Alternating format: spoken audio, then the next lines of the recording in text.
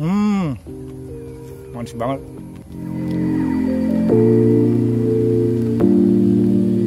Ini namanya melon apel.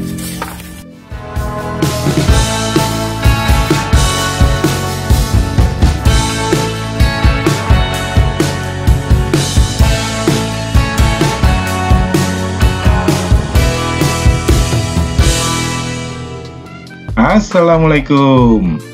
Halo sobat YouTube. Lampung punya agrowisata bunga dan buah yang luas dan keren banget. Namanya PKK Agropark Lampung. Lokasinya ada di Desa Sabah Balau.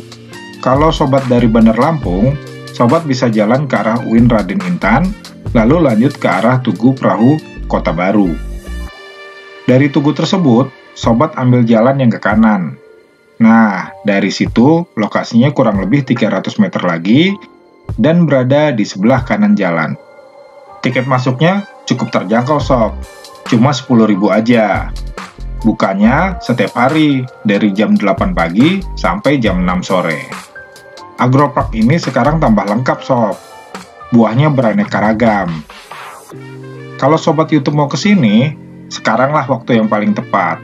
Karena sekarang sedang banyak pohon yang berbuah dan bunga yang sedang bermekaran.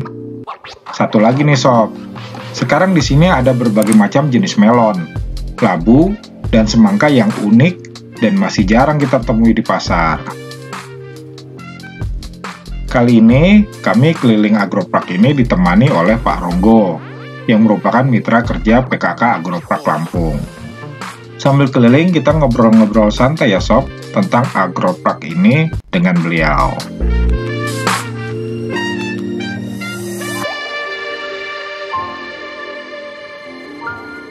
Kita bekerja sama dengan Polinela. Oh, uh, jurusan pariwisata. Jadi nanti akan akan dipandu oleh teman-teman dari Polinela mengarahkan ke mana. Jadi di samping memang uh, teman-teman dari Polinela itu mengarahkan, juga memecah kerumunan. Jadi tidak akan terjadi kerumunan. Karena di sini dengan tempat uh, luas 7 hektar seperti ini sih, insya Allah nggak tidak akan terjadi kerumunan. Tapi bagaimana sih teman-teman guide itu mengarahkan tamu ke sisi mana dulu? Mungkin kalau yang ramai di melon, kita ajak lihat blimbing, ah. lihat jambu merah. Di sana jambu kita banyak loh. Ada jambu air, jambu kristal, dan di sini juga ada berbagai macam jambu yang antik. Namanya jambu-jambu kalau kalau di tempat namanya jambu sukun. Oke Pak, ini paling antik ya? Paling antik. Baru pertama kali ada di Lampung ya. Oke. Ini namanya melon apel. Melon apel. Melon apel. Nah, ini, ini melonnya bentuknya persis seperti apel. Oh, dia ukuran bisa gede lagi? Enggak bisa, namanya oh, melon apel. Emang segede gitu? Ya, seperti ini. Melon apel.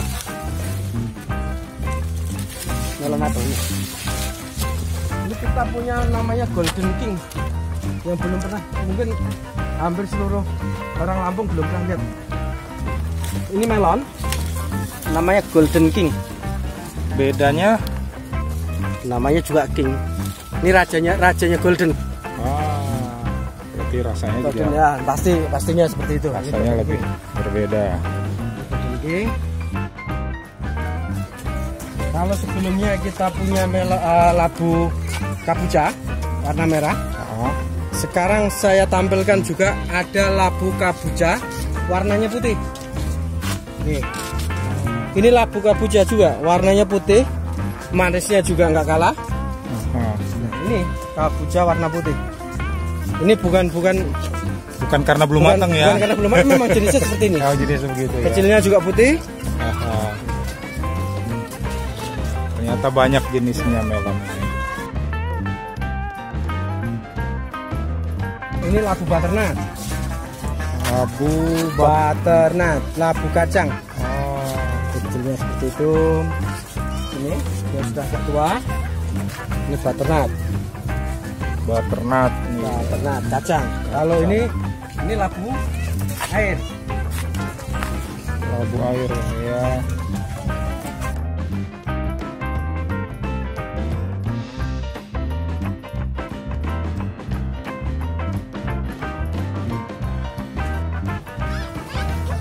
markisa Ya. Ini lihat bunganya ini bunga markisa ini. Nah, passiflora dia. Ah, ah. Bisa. Biji, dalamnya sama biji-biji gitu ya. Ini labung kapuca. Walaupun tua, dia akan tetap warna hijau. Oh. Walaupun tua, setua apa dia akan tetap berwarna hijau. Ternyata banyak jenisnya.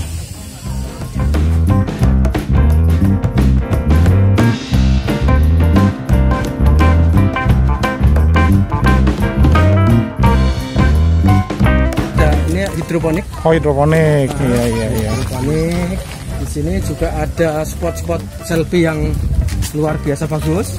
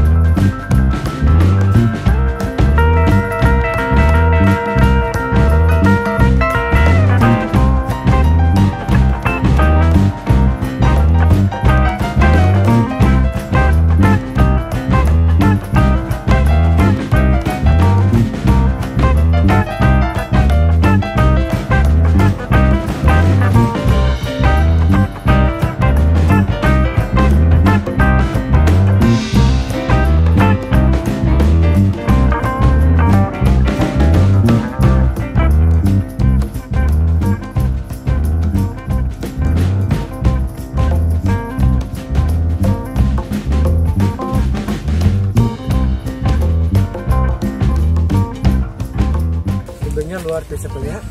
Nanti kita makan blimbing. Blimbingnya bagus banget, banyak banget.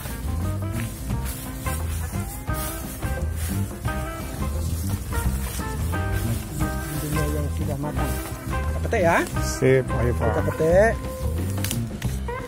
Kita lihat isinya. Ini belimbing madu.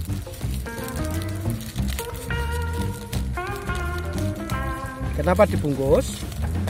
Biar tidak tersengat oleh lebah. Hmm. Wow. Wow, keren. Mantap.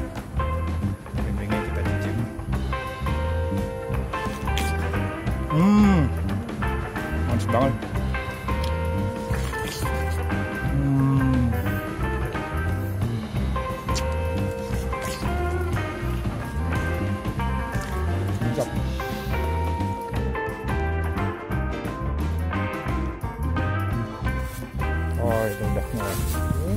Hampir stop sudut.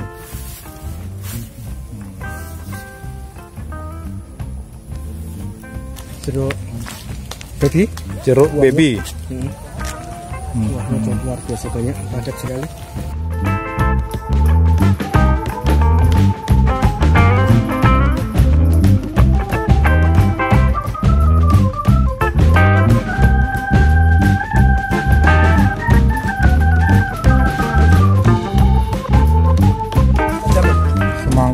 Semangkanya beda. Ini Kenapa, namanya Pak? semangka golden.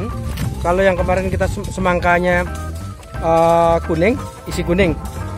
Ini semangka kuning, isinya merah. Tak jamin untuk warga Lampung eh, sesuatu yang eh, sesuatu yang baru banget ya. Oh. Ini detailnya teman-teman. Oh, kira- Panjang. Oh. Kira-kira berapa bulan lagi nih Pak baru bisa gede? 20 hari lagi udah bisa kita panen. 20 hari lagi baru panen nih. Jadi kita bikin eh, sistemnya agak-agak berjenjang ya. Jadi tidak tidak semuanya ya sudah matang. Oh jadi bertahap ya. Bertahap. Sistemnya kita bertahap. Kalau masalah tiket gimana Pak? Tiketing? Tetap sepuluh ribu. Tetap tiket 10.000 per orang. Nah, ah. Untuk buah gimana? Dia bebas Buah petik, ketimbang. timbang, termasuk kayak belimbing ini atau Ya. apa? Hmm. Kita di sini kita kita eh, sediakan apa yang mau dibawa pulang.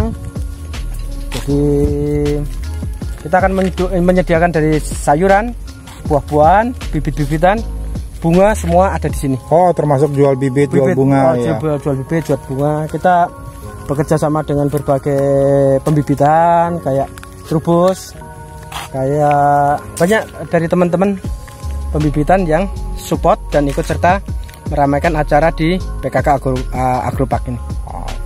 Jadi pengunjung insya Allah tidak rugi karena bisa mengedukasi, eh, bisa diedukasi, bisa melihat proses pembuahan seperti ini belimbing. Oh. Belimbing kita dari yang paling kecil ini kita kita bisa bisa lihat belimbing kecil sekali dari bunga, dari pentil sampai panen insya Allah ada di sini. Iya iya. iya. Terus labu, terus semangka, bunga-bungaan, insya Allah semua ada di sini.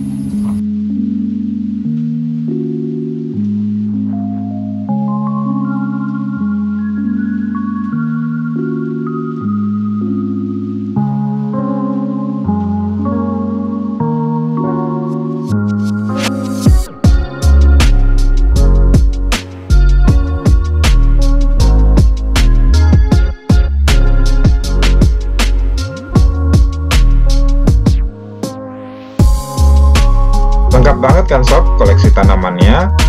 Ada bunga, buah, sayur, sama ini nih yang satu ini, cabe-cabean dan terong-terongan. Khusus cabe-cabean ini, sobat bisa makan sepuasnya di sini tanpa kena biaya tambahan.